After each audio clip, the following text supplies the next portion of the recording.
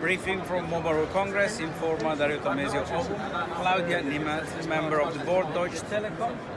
Uh, congratulations, two awards just won by Deutsche Telekom. Well done. Um, can you just recap for us a bit of your view on a few key topics of Mobile World Congress? Uh, we are talking a lot about 5G. Uh, how do you envisage 5G services to be? Yes, so the key scheme for us and also general the Mobile World Congress is 5G is getting real. It gets real for modern production. It gets real for modern mobility when you think about assisted driving and enhanced traffic management.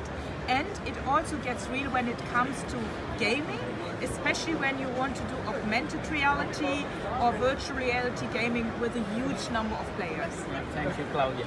And what do you think is the role of AI in future for the Deutsche Telekom business? I do believe AI is going to be everywhere, in every process, in every industrial process, in the supply chain. It will be like in churn management, in network planning. So in essence, I believe for Deutsche Telekom, as for anyone else, AI will be everywhere.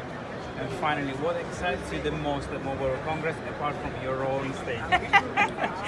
um, I must say, I really got excited about new models to actually treat data sovereignty um, and really create algorithms uh, to do analysis respecting my privacy and my data sovereignty. There's a lot of exciting innovation around that. Thank you very much, Claudia.